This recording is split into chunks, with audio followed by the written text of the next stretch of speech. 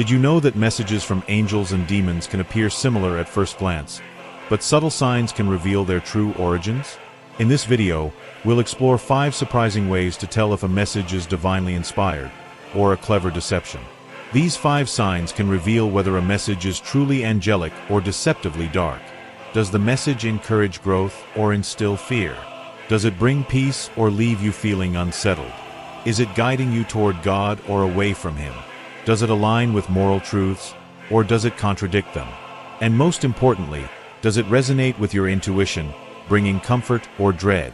Each of these signs, as taught by St. Pio, provides clues to help you discern the true source.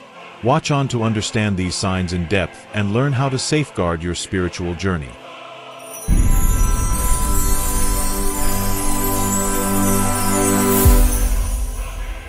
In the Christian journey, Messages come to us in moments of silence, prayer, or even in the midst of struggle. But not all messages come from a place of light. St. Pio, known for his profound spiritual wisdom, stressed the importance of discerning between messages from angels and those from demons. Understanding these differences can guide us away from spiritual traps and lead us toward truth and peace. Today, we'll dive into five key signs to help you discern between the voices of angels and demons, as taught by St. Pio and rooted in our Catholic faith. 1. The nature of the message. One of the first clues is found in the very nature of the message itself. Messages from angels are deeply encouraging and filled with positivity. They guide us to become better versions of ourselves, strengthening our relationship with God and others. Angelic messages often include words of encouragement, hope, and peace, reminding us of God's unwavering love and purpose for us. Demonic messages, on the other hand, tend to instill fear, doubt, or guilt, subtly pulling us away from God's love and grace. St. Pio taught that these darker messages can seem harmless at first, but will often chip away at our confidence or peace. When receiving a message, ask yourself, does it lift you up or weigh you down? 2. The emotional impact of the message. The emotional aftermath of a message can reveal a lot about its origin. Angelic messages tend to leave us feeling calm, comforted, and at peace, even if the message challenges us to grow or change. They fill our hearts with a sense of love and acceptance that only divine sources can bring. Demonic messages, however, can leave us anxious, restless, or confused.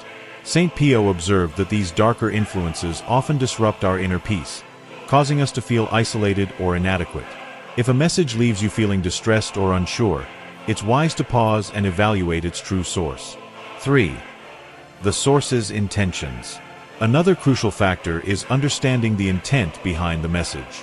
Messages from angels have pure intentions, aimed solely at our spiritual well-being and closer connection to God. St. Pio spoke of how demonic influences may twist their messages, using half-truths or manipulation to lure us away from our faith. They might seem enticing initially, but they often encourage pride, selfishness, or other distractions from God. Whenever you receive a message, ask, is it drawing me closer to God's will or subtly encouraging me to stray from it? 4. Consistency with universal truths. Angelic messages are aligned with the universal truths and values that God has laid out for us. They resonate with moral clarity and never contradict God's teachings. Messages from demons, however, can be inconsistent or even contradictory to these principles, luring us toward decisions that conflict with our faith. St. Pio highlighted this as a key sign. When something seems off or goes against what we know to be true and just, it's wise to question its source. If a message challenges these core beliefs, it's better to steer clear. 5. Trusting your intuition. Finally, your intuition, or spiritual sense, can be a powerful guide. Messages from angels often resonate within us, bringing a sense of inner safety and comfort that we can recognize almost instinctively. St. Pio believed that the Holy Spirit aids us in discerning these messages, leading us to peace and confidence when they are truly divine. Demonic messages, however, frequently leave us with a lingering feeling of dread or discomfort, no matter how enticing they might seem. Listen closely to your gut feeling. It's often the Holy Spirit's way of guiding you toward the truth. To recap, discerning the source of a message is crucial in our spiritual journey. When a message arrives, ask yourself, does it bring peace or fear? Love or confusion? Does it align with God's teachings or does it challenge them?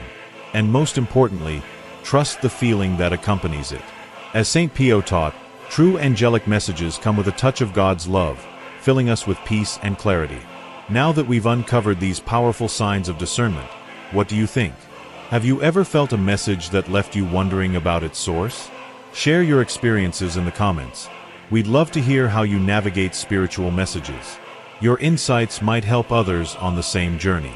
And if this video resonated with you, don't forget to like, subscribe, and share it with someone who might need clarity in their own spiritual life. Let's grow together in faith and understanding.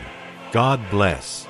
If you're looking to overcome depression and anxiety by strengthening your spirituality, I invite you to check out my ebook, Soulful Transformations Bridging Faith and Mind for Lasting Wellness, available on Kindle.